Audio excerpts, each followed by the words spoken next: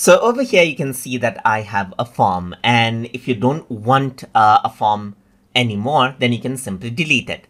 So to delete out a form you should first go around onto the forms homepage right here and once you go around over here under my forms you can see all the forms and whatever form you want to delete you need to click on the three dot button and simply choose delete option right here. Once you do that you can hit the delete button and the form will be deleted just like this. Just click on it and it'll be deleted right there.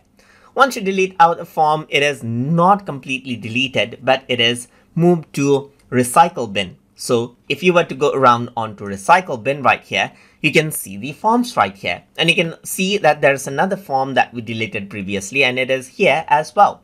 You can go around and filter out uh, the forms by keyword right here just by typing this around right here just like this or by seeing in a list view and so forth as you can see to filter it out right here. So type in TU and it only shows the uh, uh, forms with the title TU in them right there just like this.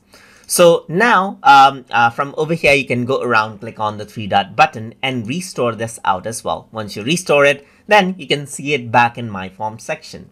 But from the recycle bin if you're sure that you don't want the uh, form anymore you absolutely uh, don't need it, then you can permanently delete it by clicking on the three dot button and by clicking on delete right here. Once you do that, it wants you as well saying that it'll permanently delete this form. So if you were to press delete, then the form will be deleted.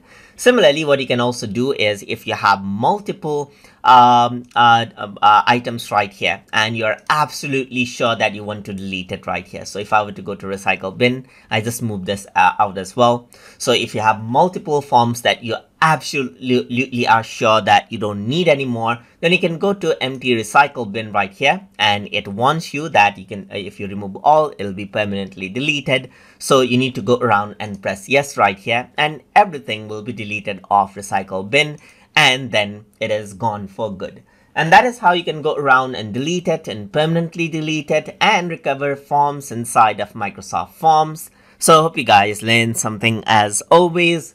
And as always, please like, comment, share, and subscribe.